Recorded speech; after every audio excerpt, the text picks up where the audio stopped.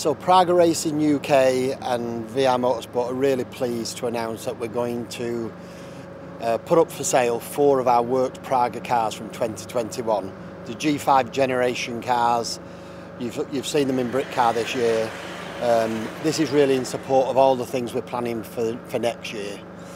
The cars are a lightweight prototype car that can race in many formulas these days.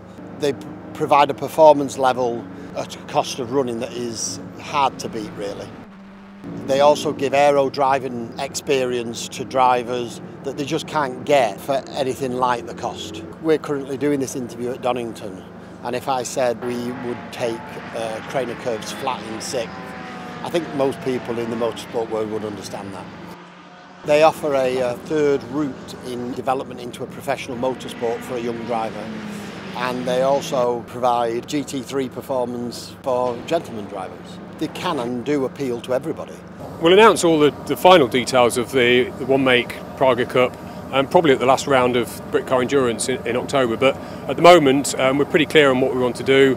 Uh, we'll have six rounds in the UK and one non-championship round in Europe. So hopefully it's of interest to people um, who don't already know who Praga is. But um, what we've seen so far is that people are beginning to see what we're up to and and, and coming to us and saying what you're doing next year. So um, with our factory cars um, going on sale as well now that we're replacing with new factory cars next season, you know there's a real buzz about what we're doing and we can't wait to, to really get going on next season.